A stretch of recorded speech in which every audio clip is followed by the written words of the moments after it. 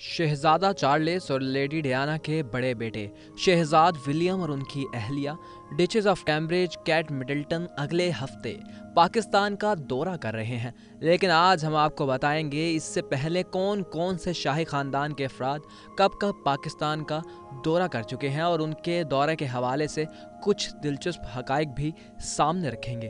لیکن اس سے پہلے دوستو، اگر آپ نے ہمارے چینل کو ابھی تک سبسکرائب نہیں کیا تو اسے سبسکرائب کریں اور بیل آئیکن پر لازمی کلک کریں۔ پاکستان اور برطانیہ کے درمیان تعلقات کی ایک درینہ تاریخ ہے۔ سن انیس سو سینتالیس میں تقسیم ہند کے بعد سے برطانوی شاہی خاندان کے کئی افراد نے پاکستان کے دورے کیے ہیں۔ الزبت دوئم برطانیہ کی تاریخ میں سب سے طویل مدت تک برسر اقتدار رہنے والی ملکہ ہیں۔ انہوں نے انیس سو اکسٹھ میں برصغیر کا دورہ کیا اور پاکستان بھی آئی اس وقت کے صدر ایوب خان نے ان کا استقبال کیا اور ان کا پاکستان میں ایسا استقبال ہوا کہ دنیا دیکھتی رہ گئی۔ ایسے لگ رہا تھا کہ پورا کراچی ہی ملکہ کا استقبال کرنے کے لیے گھروں سے سڑکوں پر نکل آیا ہے۔ ملکہ کے ساتھ شہزادہ فلپ بھی موجود تھے۔ ملکہ نے اپنے دورے میں کراچی کے فیئر ہال میں منعقد ہونے والی ایک تقریب میں شرکت کی۔ شہزادہ فلپ نے کورنگی ٹاؤن شپ منصوبے کا بھی دورہ کیا تھا، جو اس وقت امریکہ کے اشتراک سے تعمیر کیا جا رہا تھا۔ کراچی کی صدارتی رہائش گاہ میں ملکہ کے اعزاز میں ایک عشائیہ بھی منعقد ہوا۔ انہوں نے لاہور کی بادشاہی مسجد کا دورہ کیا۔ اس کے بعد شہزادی ڈیانا انیس سو اکانون میں پاکستان کا دورہ کیا۔ انیس سو اکاسی کو لیڈی ڈیانا کی شادی شہزادہ چارلس سے ہوئی، جس کے بعد وہ لیڈی ڈیانا شہزادی ڈیانا بن گئی شہزادہ ولیم کی والدہ شہزادی ڈیانا کل تین بار پاکستان آئی ان کا پہلا دورہ انتہائی کامیاب تصور کیا جاتا ہے۔ اس دورے میں انہوں نے پاکستان کے طول و عرض کا سفر کیا اور اپنے سادہ انداز اور مقامی فیشن کو اپنانے کی کوششوں کے ذریعے پاکستانی عوام کے دل جیت لیے۔ شہزادی ڈیانا نے اسلام آباد کے مختلف مقامات کا دورہ کیا۔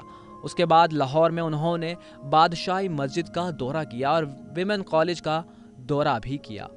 شہزادی ڈیانا نے پھر پاکستان کے شمالی علاقوں کا رخ کیا اور پاکستان کا قدرتی حسن دیکھ کر حیران رہ گئیں۔ انہوں نے صبح سرحد میں خیبر پاس کا دورہ کیا، جہاں انہوں نے فرنٹیئر کور کے ریجمنٹ خیبر رائفلز کے ساتھ قیام کیا اور چترال اسکاٹ سے بھی ملی۔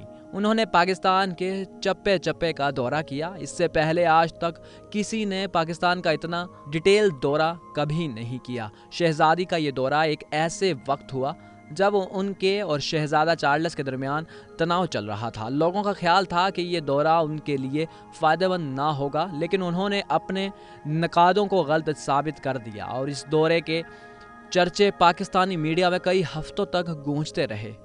اس کے بعد شہزادی ڈیانا نے ایک دفعہ پھر انیس سو چھیانوے میں پاکستان کا دورہ کیا۔ جب انیس سو چھیانوے میں ڈیانا پاکستان واپس آئیں، تب تک وہ ان کی شہزادہ چارلس سے علیحدگی ہو چکی تھی۔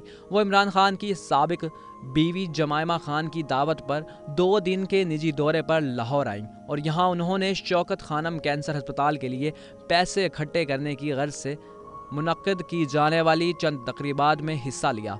جمائمہ کے ساتھ اپنی گہری دوستی کی بدولت شاہی خاندان کے روایتی انداز کے برعکس، شہزادی یہاں بھی لوگوں میں گھل مل گئیں اور ایک دفعہ پھر شہزادی ڈیانا انیس سو ستانوے میں پاکستان کا دورہ کیا۔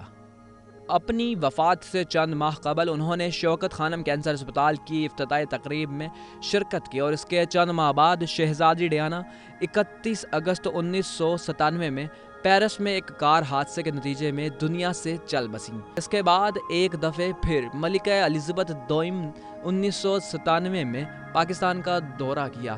ملکہ الزبتھ نے پاکستان کی آزادی کی پچاس سال مکمل ہونے کے سلسلے میں ہونے والی تقریبات میں بھی حصہ لیا۔ یہ دورہ شہزادی ڈیانا کی ہلاکت کے محض پانچ ہفتوں بعد منعقد کیا گیا تھا۔ وہ اکتوبر میں اسلام آباد آئیں، جہاں ان کی ملاقات ملک کے صدر فاروق لغاری سے ہوئی۔ اس دورے میں ملکہ نے پاکستان کی پارلیمان کی مشترکہ اجلاس سے خطاب کیا اور ان کی ملاقات سابق وزیر اعظم بے نظیر بھٹو سے بھی ہوئی۔ اس کے علاوہ وہ فیصل مسجد بھی گئیں۔ راول پنڈی میں اس وقت پاکستان اور جنوبی افریقہ کی ٹیموں کے درمیان ٹیسٹ میچ بھی جاری تھے۔ ملکہ نے میچ کے تیسرے دن کا کھیل دیکھا اور کھلاڑیوں سے بھی ملی۔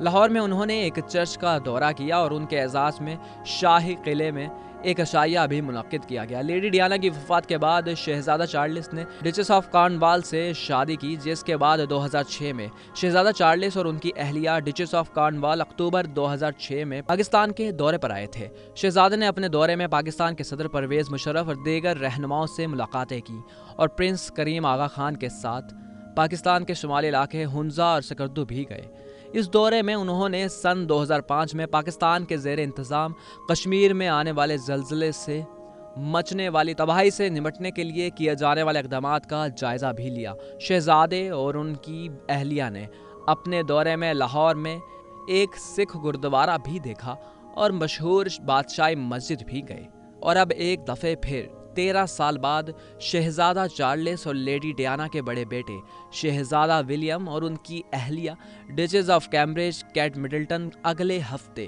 پاکستان کا دورہ کر رہے ہیں۔ دوستو، آپ اپنی رائے کا اظہار کمنٹ میں لازمی کریں۔ آپ کو ہماری یہ ویڈیو پسند آئی تو اس کو لائک کریں، ہمارے چینل کو سبسکرائب کریں اور بیل آئیکن پر لازمی کلک کریں تاکہ ہر نئی آنے والی ویڈیو آپ تک بر وقت پہنچ سکے۔ شکریہ۔